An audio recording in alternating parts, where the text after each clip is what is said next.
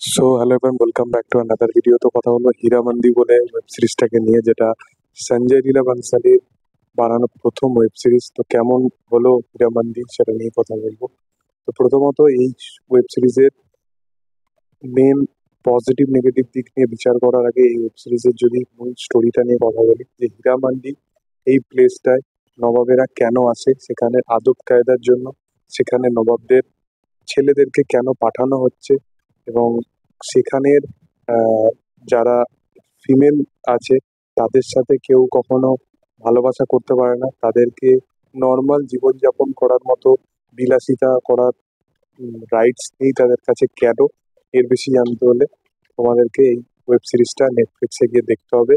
প্রায় আট ঘণ্টার এটা একটা ওয়েব সিরিজ বিশাল বড় ওয়েব সিরিজ তো সেই কারণে ভিডিওটা লেটে আসছে। কারণ এটা দেখতে দেখতে আমার ডার্ক সার্কেল পড়ে গেছে।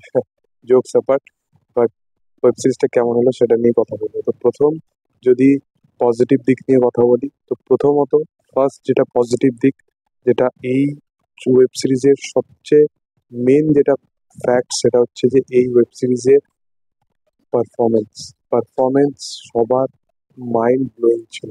প্রত্যেকটা ক্যারেক্টারে এখানে পারফরমেন্স তাদেরকে যেরকমভাবে ডিরেক্টর প্রেজেন্ট করতে চেয়েছে, তারা অ্যাকুরেটলি ব্যাপকভাবে পারফরমেন্স করেছে।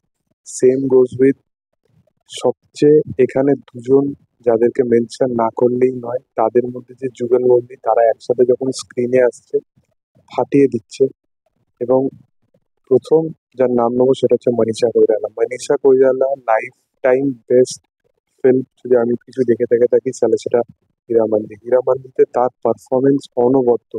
কিছু কিছু সিকোয়েন্স এখানে একটা পুলিশের কাছে তার মেয়েকে ছাড়াতে যাবে। সেই সিকোয়েন্সটা পার্টিকুলার সেই সিকোয়েন্সটার পর একটা সিকোয়েন্স হবে যেখানে রাত্রিরের সিন হবে এবং সে সেই জায়গাটা বসে থাকবে এবং তার একটা ডায়লগ আছে। মানে মনীষা কৈরালাকে কখনো এইভাবে ইমাজিন আমি করিনি। মনীষা কৈরালি খুব, কৈরালা খুব সুইট খুব মানে তার ইনোসেন্ট তার ফেসের মধ্যে তাকে এইভাবে কোনোদিনও দেখব আশাই করিনি। এবং তার সাথে সাথে সোনাক্ষী সিনহা সোনাক্ষী সিনহাকে বলিউডে এত লোক বা এত অডিয়েন্স ট্রোল করে, তার অভিনয় নিয়ে তার কিন্তু তাকে যদি ঠিকঠাক স্পেস দেওয়া হয়, সে দাহারের মতো কাজ করেও দেখিয়ে দিল, সে হীরামান্দির মতো কাজ করেও দেখিয়ে দিল। যেখানে তাকে যদি অভিনয়ের পারফরমেন্সের যদি স্কিল ডেভেলপমেন্ট করার বা দেখানোর যদি সে জায়গা পায়, সেখানে কিন্তু ইকুয়ালি দেখিয়ে নেবে আদিতি রায় রাও হায়দ্রি রিচা চাড্ডা প্রত্যেকজন তার জায়গায় ব্যাপক কাজ করেছে। আদিতি রায় হায়দ্রি তো সে সঞ্জয় লীলা বানসালির সাথে তার যে কেমিস্ট্রি ইকুয়েশন সেটা বরাবর ভালো। এবং এখানে শেখার সুমান, ফরদিন খান প্রত্যেকজন তার জায়গায় ভালো পারফরমেন্স করেছে।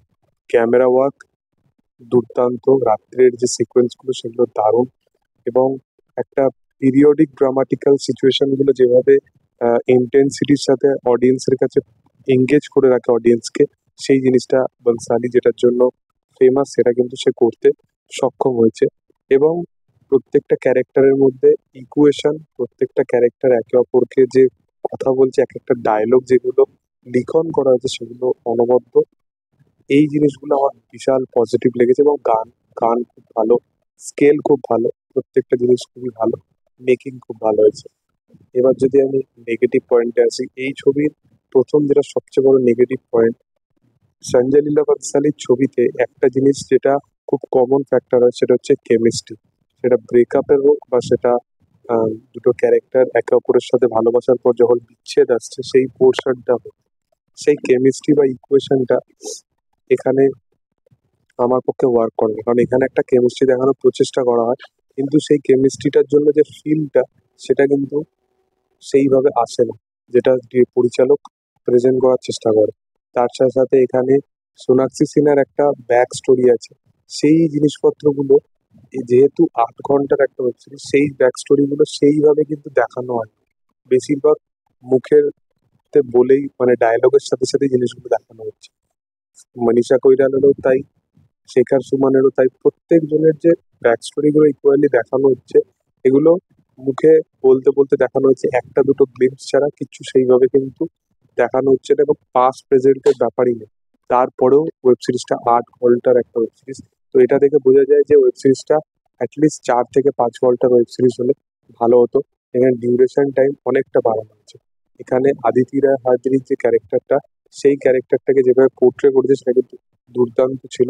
কিন্তু কিছু কিছু জায়গায় তার ক্যারেক্টারটাকে সেইভাবে সাইন করতে পারেনি এবং এই পার্টিকুলার প্রত্যেক ওয়েব সিরিজেরই প্রত্যেকটা এপিসোডে একটা জিনিসে কোনো কিছু পার্টিকুলার সিকোয়েন্স যেখানে ইন্টারেস্টিং ব্যাপারটা বা ইন্টারেস্টিং ফ্যাক্টসটা অডিয়েন্সকে দেওয়ার প্রচেষ্টা করছে, সেই জায়গাতেই যখনই কনক্লুশনে পৌঁছাচ্ছে, খুব সাডেন ওয়েতে আবার অন্য সিকোয়েন্স এসে যাচ্ছে। তো এই জিনিসপত্রগুলো আমার একটু নেগেটিভ লেগেছে। ওভারঅল ওয়েব সিরিজটা দেখার ওয়েব সিরিজ এরম নয় যে খারাপ ওয়েব সিরিজ কারণ বনসালির খারাপ কাজও মানে আর বললাম না মানে অন্য অন্য ডিরেক্টরদের ভালো বেস্ট কাজের মধ্যে হয়।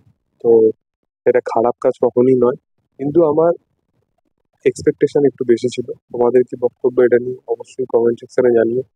ভিডিও ভালো লাগলে অবশ্যই লাইক শেয়ার সাবস্ক্রাইব করে দিও। Thank you all by